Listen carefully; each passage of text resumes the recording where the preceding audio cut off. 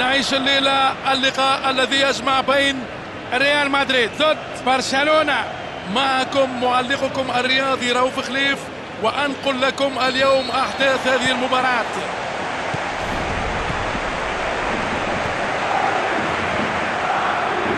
دانيال ألفيش. جوردي ألبا.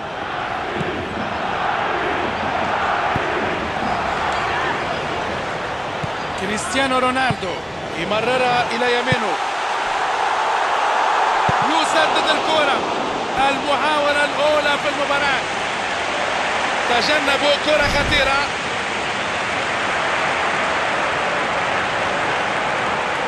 يريد لعب التوزيع في المنطقة. يحفز ليلعبها براسه ويضعها في المرمى.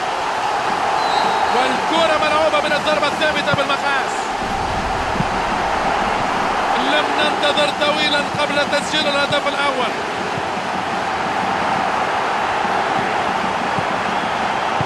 قطعها في الوقت المناسب أحس بقوة التهديد ووصل للكرة. مودريتش. يلعبها بينية أرضية. تسديدة والكرة داخل الشباك انطلقوا بقوة كبيرة في هذه المباراة. سددها لكنها بالتأكيد ليست تسديدة عادية النتيجة اثنان لصفر الآن.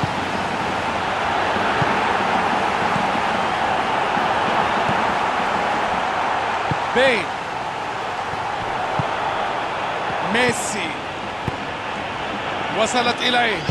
يلعبها مرفوعة هل يمكنه التسجيل؟ توني كروس. راكيتيتش يلعب كرة إلى الأمام. ووصلت الكرة إلى الحارس مباشرة.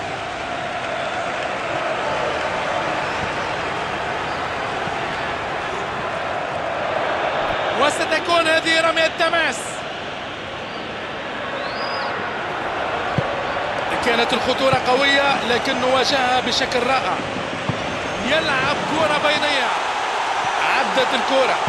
ينطلق إلى منطقة الجزاء. أراد لعب كرة عالية ولكنها لم تكن ناجحة.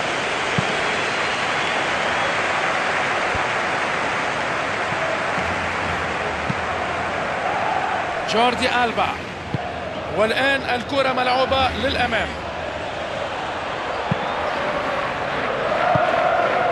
إينيستا يحاول تمريرها عبر الدفاع. توني كروس مودريتش. كرة طولية إلى الأمام. سيرخيو بوسكيتس. إينيستا يسيطر عليها. أمامه فرصة التسجيل. لقد فعلوها.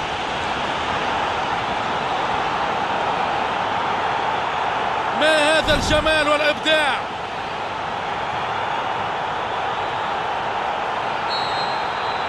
تم تذليل الفارق إلى هدف واحد. يحاول أن يلعبها بينية. حاول بمفرده التوغل لكن بلا نجاح يذكر. يلعبها طولية. بضغط قوي كالبركان أخذ الكرة وحقق الأمان. بنزيما. يحاول فك دفاعات المنافس. حاول لعبها بينية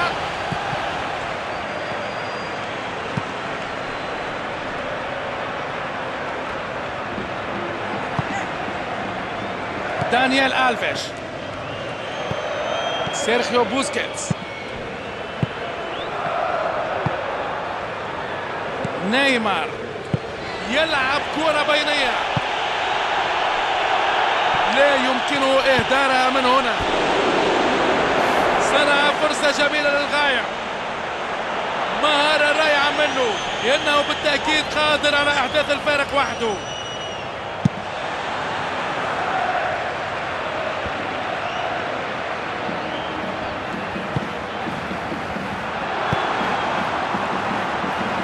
جوردي ألبا. سيرخيو بوسكيتس.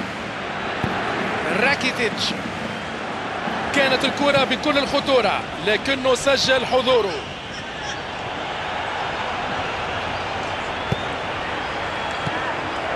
ميسي. شكل المنافس بعض الخطورة لكنه وجد كل التصدي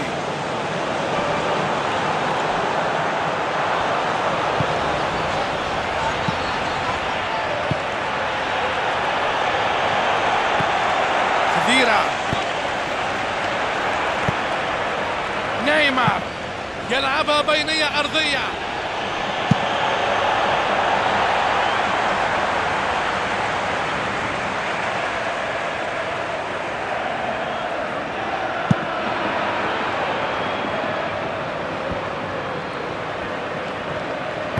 يرسل كرة طولية إلى المساحة الفارغة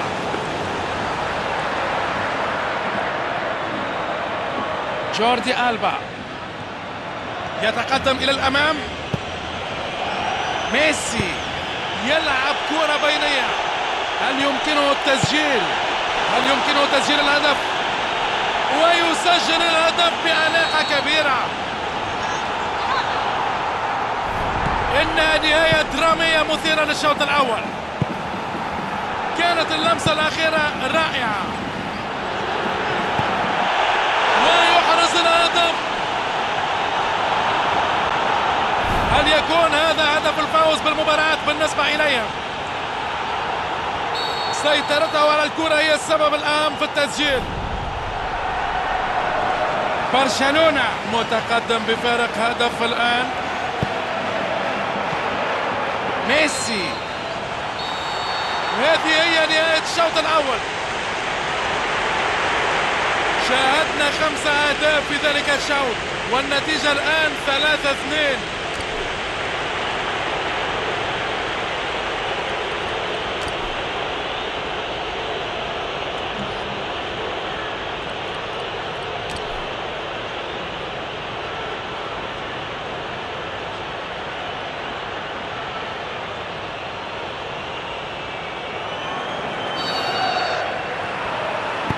سنتابع الدقائق المتبقية الآن. يلعب كرة طولية للمنطقة الأمامية. تمركز جيد والدفاع يستميت لمنع الخطورة وقطع الكرة يحاول تمريرها عبر الدفاع. دانيال ألفيش. خذيرة فاتت ومرت ووصلت إليه. مرت الكرة بشكل لطيف. راكيتيتش يلعب كرة طولية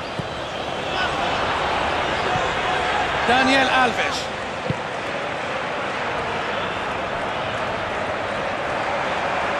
وسيلعبون رمية التماس.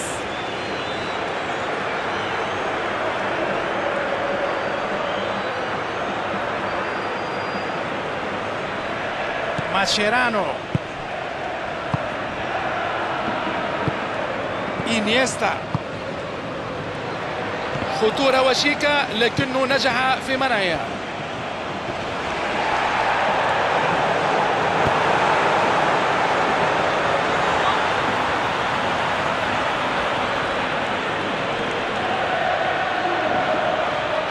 دانيال ألفيش يلعب كرة إلى الأمام.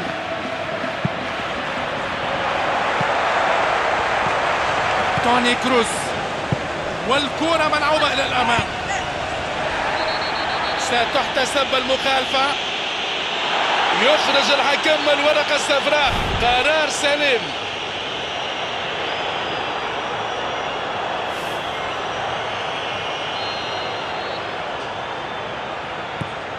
دانيال ألفيش يلعبها بينية أرضية.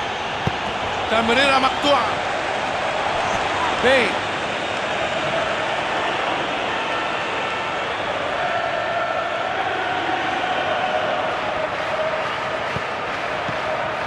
لعبة جميلة. راكيتيتش. إيسكو. كريستيانو رونالدو. حاول لعبها بينية أظن أنها تسلل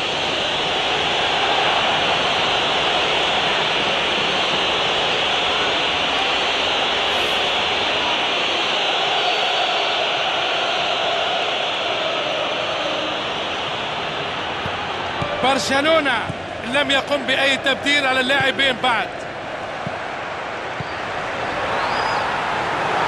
في وضعية صحيحة يندفع بقوة إلى الأمام.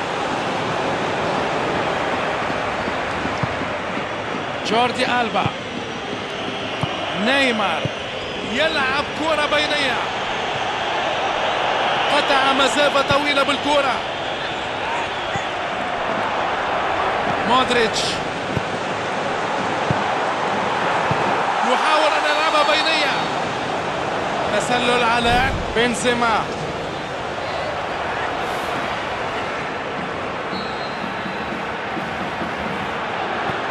ماشيرانو.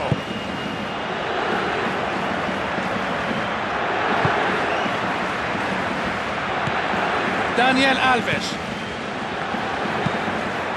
إنيستا. الكرة للأمام.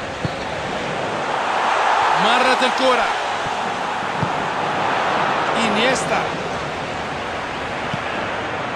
نيمار يلعبها طولية قد تكون هذه فرصته. ليست تسللا. مودريتش.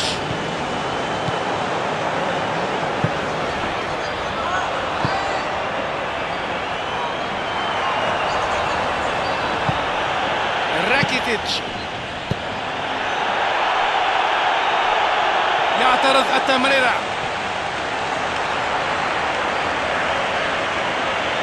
إنيستا سينفذ الركنية. يلعبون ركنية قصيرة. إنيستا.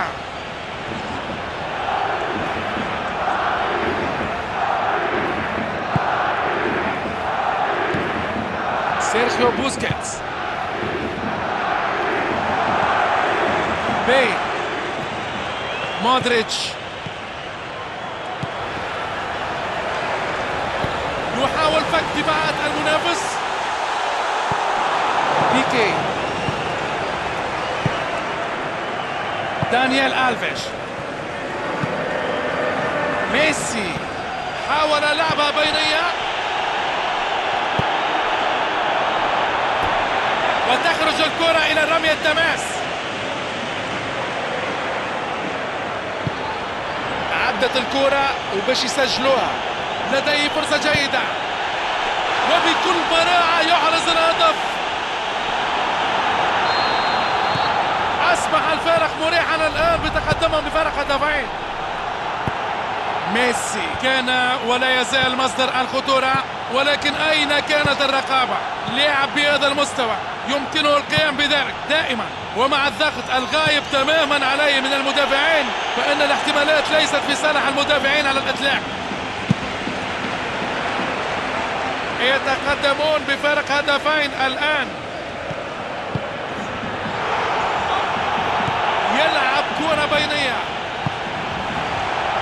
يمر الوقت بسرعة. ماشيرانو. ويفضل إعادة الكرة إلى الخلف. دانيال ألفيش.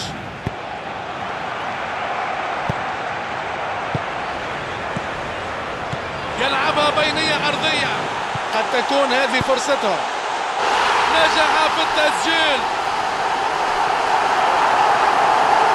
الآن سنشاهد دراما اللحظات الأخيرة الآن.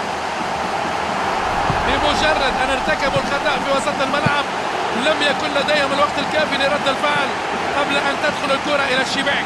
إنه درس يجب نهاية المباراة. بعد إضافة بعض الوقت بدل الضايع يطلق الحكم صافرته. معلنا نهاية اللقاء.